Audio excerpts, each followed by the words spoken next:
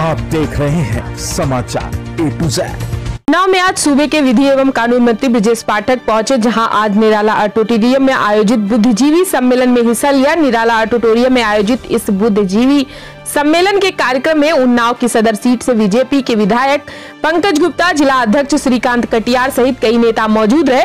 इस कार्यक्रम के दौरान मंत्री ब्रजेश पाठक ने मोदी सरकार की चार साल की उपलब्धियाँ भी गिनाई और सरकार को जनहितकारी और गरीबों का हितैषी भी बताया। उन्नाव के निराला ऑडिटोरियम में आयोजित किए गए बुद्धिजीवी सम्मान सम्मेलन में हिस्सा लेने के लिए सूबे के विधि और कानून मंत्री ब्रजेश पाठक उन्नाव पहुँचे। इस कार्यक्रम में पहुँचे मंत्री जी का कार्यकर्ता नेताओं ने माला पहनाकर स्वागत किया। साथ ही जिला अध्यक्ष श्रीकांत कटियार ने स्मृति चिन्ह भेंट किया। कार्यक्रम में मौजूद सदर विधायक पंकज गुप्ता ने भी मोदी सरकार की चार साल की उपलब्धियाँ गिनाई। मंत्री ब्रजेश पाठक ने उज्ज्वला योजना, जनधन जनधन योजना, आयुष्मान योजना सहित सभी योजनाओं को गिनाया। वही मंत्री ब्रजेश पाठक कहा कि, कैराना चुनाव हम अवश्य जीतेंगे। फूलपुर और गोरखपुर का चुनाव हम अति उत्साह में हार गए। वहीं सूबे में लगातार बढ़ रहे अपराध के मामले में मंत्री जी ने कहा कि बीजेपी की सरकार में अपराध कम हुए हैं। उन्नाव से प्रभा वाजपेयी की रिपोर्ट।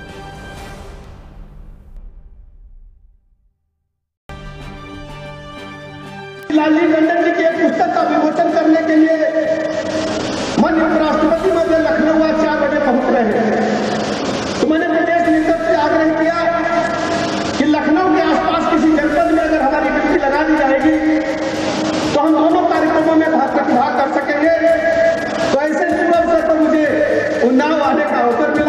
इसलिए मैं आप सबको और पार्टी को हृदय से धन्यवाद करता हूँ कि उन्नाव में आप सबसे मिलने मिलाने का अवसर क्या कहना चाहेंगे सरकार की उपलब्धियों पर?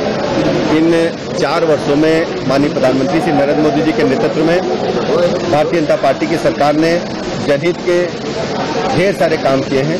उसी के बदौलत आप देख रहे हैं कि पूरे देश और प्रदेश में भारतीय जनता पार्टी की बड़ी लहर चल रही है और बड़ी संख्या में लोग भारतीय जनता पार्टी से लगातार जुड़ रहे हैं। चुनाव होने जा रहा है कैराना पर। आज शाम को पाँच बजे प्रचार थम जाएगा। सत्ताईस को मोदी क्या कहना चाहेंगे? कैराना और नूरपुर दोनों जगहों पर भारतीय जनता पार्टी के प्रत्याशी भारी बहुमत से चुनाव जीतेंगे। कैराना का भ्रमण करने के बाद हमने ये पाया वहाँ पर जिस ढंग से गत सरकारों ने स्थानीय निवासियों का शोषण किया था उनका सड़क पर निकलना मुश्किल था।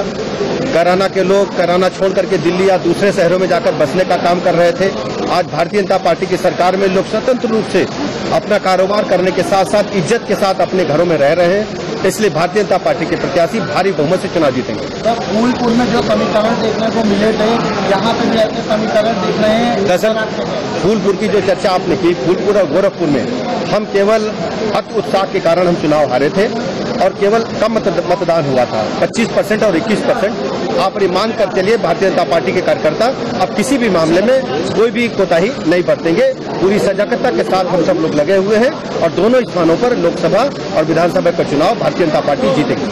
सर, जिस समय, जिस तरह से प्रदेश में एनकाउंटर हो रहे हैं, लेकिन उसके बावजूद भी अपराध में कहीं रोकथाम नहीं हो पा रही है। लूट हो रही है, हत्याएँ हो रहे हैं, रेप हो रहे हैं। क्या कहना चाहिए गत सरकारों में, भारतीय जनता पार्टी की सरकार में अंतर यह है, पिछली सरकारों में अपराध होते थे, अपराधियों को संरक्षण थाने में सत्ताधारी लोग, दल के लोग देते थे।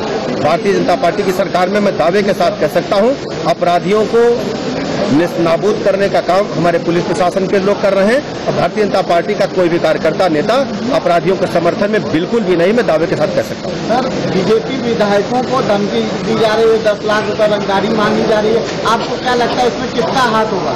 अब चूँकि गंभीर विषय है हमारे विधायकों की सुरक्षा से जुड़ा सवाल है। इसमें जाँच चल रही जैसे जाँच परिणाम सामने आएँगे आपको सूचना आ जाएगी। सर एक चीज़ और बताना चाहेंगे जिस तरह से सामने आया कुछ विधायकों ने जनता से उसके लिए रंगदारी देने के लिए चंदा जुटाना शुरू कर दिया है। इस पर आप क्या अब वो विषय अभी हमारे सामने नहीं आया है। आप बता रहे हैं अगर कैसा कुछ होगा तो माननीय विधायक से संपर्क करेंगे। और जो भी दिक्कतें होंगी हम माननीय विधायक गण के साथ हमेशा।